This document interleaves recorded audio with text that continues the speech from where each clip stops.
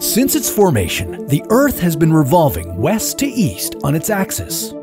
If one day our planet started rotating in the opposite direction, it would no longer be the Earth as we know it.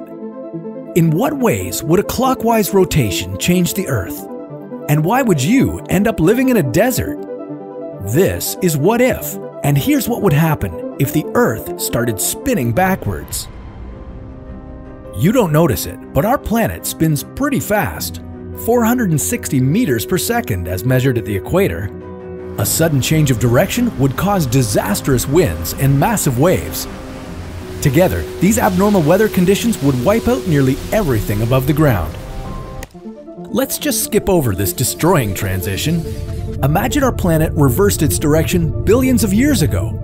You'd see the sun and the moon rise in the west and set in the east. And you'd never believe that the Sahara could be a desert. How different would our planet turn out to be?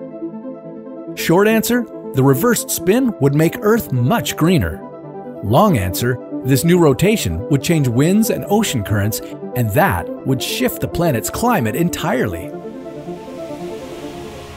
Oceans work as a global climate control, distributing the sun's heat all over the Earth.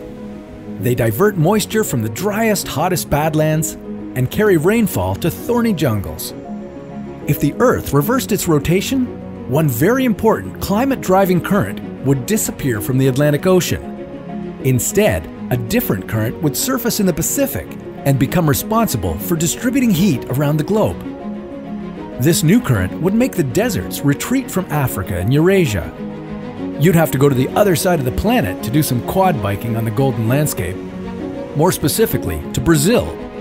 The US would also get very arid in the south but none of the new barrens would be anywhere close to how dry the Sahara Desert is now. There'd be much more vegetation covering the planet. Hey, that's more oxygen for all of us. But those living in Western Europe would be in for a shock. The Pacific Current would push a lot of cold water that way, bringing freezing winters to the region. Russia, on the other hand, would warm up and take a break from being the coldest country on Earth. Life on the reverse spinning Earth would be different too. In the oceans, cyanobacteria would dominate over other phytoplankton species. Billions of years ago, the oxygen pumping cyanobacteria invented photosynthesis and transformed our planet's atmosphere.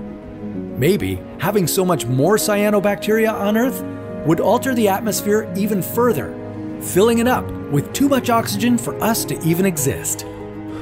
Let's just leave the planet to spin the way it does. And what if it stops rotating altogether?